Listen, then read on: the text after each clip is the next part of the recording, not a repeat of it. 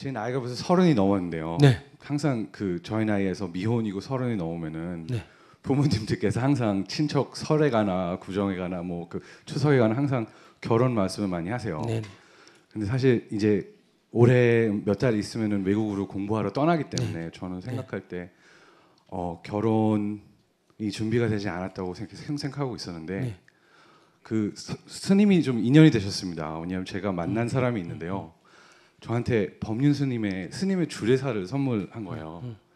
그래서 서- 선물하면서 어, 결혼이라는 게 다 욕심이고 결혼이라는 게 안 할 때게 하고 싶지 않다고 생각될 때 어, 할수 있는 거다 이런 말씀을 읽으면서 갑자기 이 사람을 봤는데 제가 너무 반했습니다.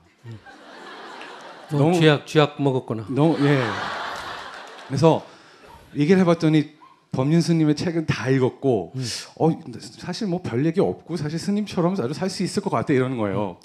그 순간 이 사람 보면서 저는 평생 같이 베풀어 주면서 같이 좀 만난 지도 얼마 안 됐지만 같이 평생을 살고 싶다고 생각을 했는데 제가 이 사람과 결혼해도 되겠습니까 스님?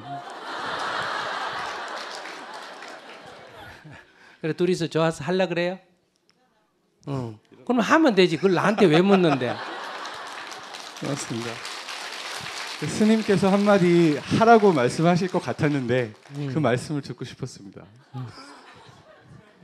스님이 왜 그걸 나도 혼자 사는데 둘이 하라 그러게 하지 마. 감사합니다. 자랑하러 나왔어. 그죠? 자랑하러. 아이고 어, 안가이 좋다. 아이고 어지간히 좋다. 그래 좋을 때 좋은 거야. 응, 살아봐.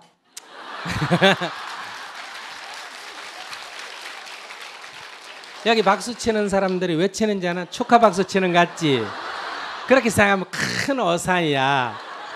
아이고 저게 몇- 1년만 있으면 고소하다 이런 생각하고 네가 살아봐야 내 마음 알지 이래가 지금 박수 치는 거예요 그러니까 결혼한다고 뭐 특별히 좋은 일 있다 이러면 기대하고 결혼하면 안 되고 음, 서로가 성격도 다르고 생각도 다르고 뭐도 다 다르잖아 그죠?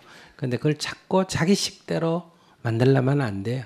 상대 있는 대로 너무 속박하려 그러지 말고 어, 이렇게 생각을 하고 살면 길간 사람 아무나 하고 잡아도 잘 살고 그러니까는 막 이거다 싶어가 내 식대로만 하려 그러면 천생연분 같은 사람도 못 살아 아시겠죠?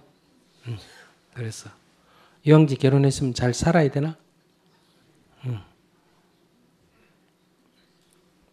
한번 살아보세요.